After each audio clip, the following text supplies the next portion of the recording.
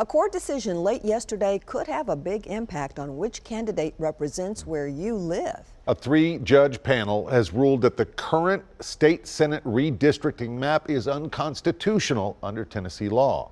News Channel 5's Chris Davis has an in depth look now at the maps and the impact and what it means for all of us, right? Sure, Rory. Well, this is the proposed map. And if you take a closer look, let's go into Davidson County. You can see that there are lines just going all over the place. Case in point, you could be living in Old Hickory and someone living all the way over in Belle Meade has the same state senator.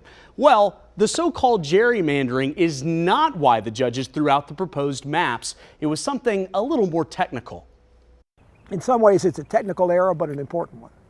News Channel 5 political analyst Pat Nolan says the panel of judges overturned the proposed state Senate district map because of a numbering error. The language in the Constitution is pretty plain that when you do that within a county that have that has multiple Senate seats, you have to number them consecutively, and they're not in Davidson County. The chairman of the Tennessee Democratic Party called the ruling a victory. Republicans have drawn illegal maps, and the courts are finally stepping in to help correct that. The court told lawmakers they have 15 days to fix the problem. In those 15 days, Lieutenant Governor Randy McNally tells News Channel 5 they plan to appeal the decision, but if an appeal isn't granted, the Senate will begin working on a backup map. If lawmakers choose to renumber the districts, that could cause a different complication. When you change that, somebody might wind up having to run this year that didn't plan to, and well, that would be the ultimate fruit basket turnover, wouldn't it?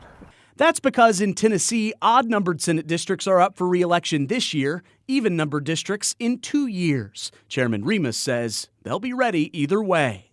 But what's most important in either one of those scenarios is making sure that we have strong, credible candidates. And with a, a deadline extension, it gives us an opportunity to make sure that we have somebody viable if that does happen.